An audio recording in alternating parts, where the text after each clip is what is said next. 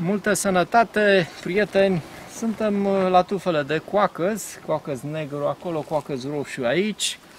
Au fost super înflorite, ciorchinii atârnă. Deja florile trec și încep să apară bobițele de coacăz roșu. Vor atârna ciorchini de strugurei Priviți câte flori a avut pe, pe ea. Într-adevăr, super productiv. Coacăzul bine, puțin îngrijit, nu are nevoie de, de